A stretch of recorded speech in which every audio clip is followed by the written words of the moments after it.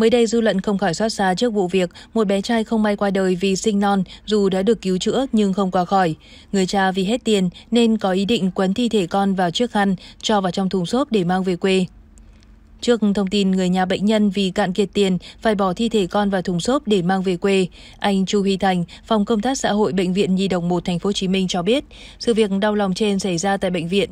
Vợ anh TMG, 36 tuổi, ngụ ở tỉnh Cà Mau, sinh non khi thai mới 23 tuần tại một bệnh viện ở Cà Mau bé rất yếu. Vì muốn đưa con lên cấp cứu tại thành phố Hồ Chí Minh, anh G đã được một bác sĩ tại Cà Mau cho số điện thoại liên hệ xe cấp cứu. Phía nhà xe báo giá 16 triệu đồng cho chuyến xe cấp cứu từ Cà Mau lên thành phố Hồ Chí Minh, anh G trả trước 50%, đến bệnh viện phải đưa nốt 50% còn lại. Vì muốn cứu con, anh vay mượn khắp nơi để có đủ tiền xe. Tối ngày 5 tháng 8, cha con anh G được xe cấp cứu trở đến bệnh viện Nhi đồng 1. Sau khi nhập khoa cấp cứu, đến ngày 6 tháng 8, bé được chuyển sang khoa hồi sức sơ sinh.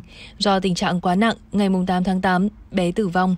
Sau khi trả các khoản viện phí, điều trị, anh G đã cạn kiệt tiền. Quấn con trai trong tấm chăn, anh bế bé xuống nhà đại thể của bệnh viện Nhi đồng 1 để làm thủ tục. Anh dự định sẽ cho con vào thùng xốp rồi ôm con lên xe khách để về Cà Mau. Anh G chia sẻ, chú làm ở nhà đại thể của bệnh viện, nói làm vậy tội bé lắm, để chú nhờ xin xe cho về. Chú đến phòng công tác xã hội của bệnh viện Nhi đồng 1 nhờ giúp đỡ. Bệnh viện cho con một chiếc quan tài và xe để đưa hai cha con về quê. Đến tối ngày 8 tháng 8, tôi về đến nhà lo hậu sự cho con và đến lúc đó anh mới biết mình bị thuê xe quá đắt.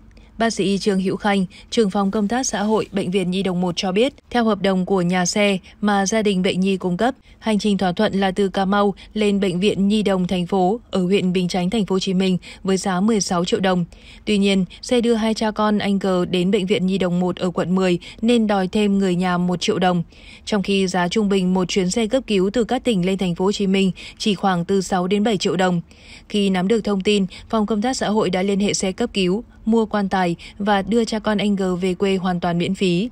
Bệnh viện Nhi đồng 1 thành phố Hồ Chí Minh khuyến cáo người dân, người bệnh nếu phải gọi xe đưa bệnh nhân đi cấp cứu cần bình tĩnh, tìm hiểu để không bị chặt chém. Trường hợp có khó khăn, người nhà hoặc người bệnh có thể liên hệ phòng công tác xã hội của bệnh viện để được hỗ trợ.